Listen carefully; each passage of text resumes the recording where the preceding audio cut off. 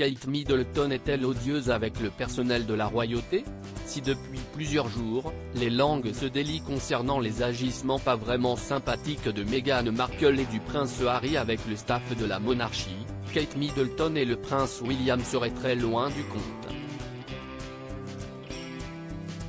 Contrairement au duc et à la duchesse de Sussex, les parents de George, 9 ans, Charlotte, 7 ans et Louis, 4 ans, seraient adorables avec le personnel. Et ça a toujours été le cas, concernant Kate tout particulièrement.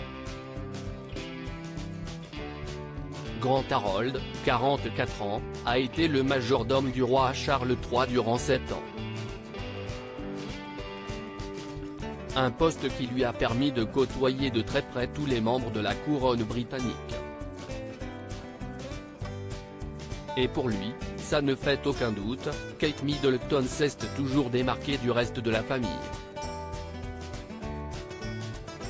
Grand Harold a expliqué à The Mirror qu'elle était tout sauf timide et se comportait presque comme la bonne copine de tout le monde depuis son arrivée au sein du clan, elle pouvait faire des blagues et prenait le temps de discuter avec tout le personnel, a-t-il indiqué.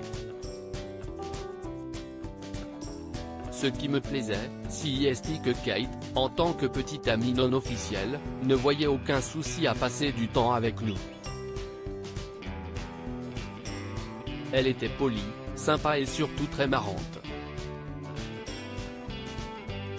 Elle faisait toujours des petites blagues.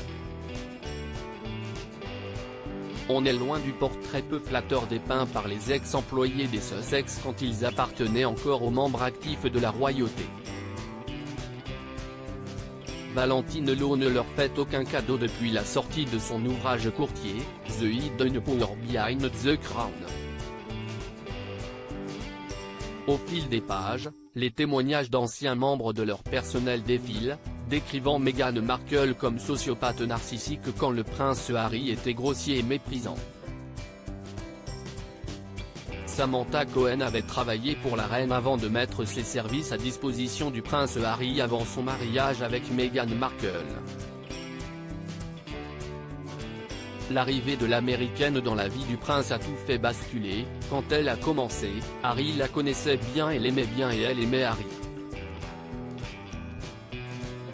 Sam est une incroyable solutionneuse de problèmes, si est une personnalité dynamique et elle a juste trouvé ça vraiment difficile.